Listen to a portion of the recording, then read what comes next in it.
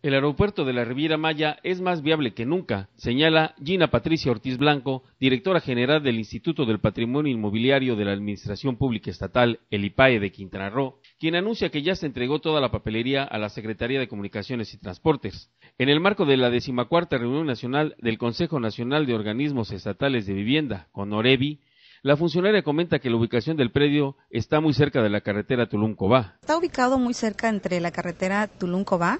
Eh, de toda la superficie real, estamos hablando de diferentes polígonos, ocupa alrededor de 1.200 hectáreas, 1.400 hectáreas revela que la semana pasada se envía a la Dirección General de Aeronáutica Civil toda la documentación con la gestoría del Gobierno del Estado para la obtención de los terrenos.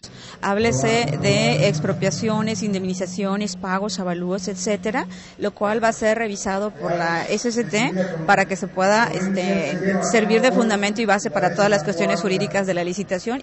Ortiz Blanco señala que el gobierno de Quintana Roo queda supeditado a lo que decidan las autoridades de comunicaciones y transportes porque son los que tienen las fechas. Estamos hablando que va a ser muy pronto, pensamos que el siguiente mes ya la SCT pudiera estar bien.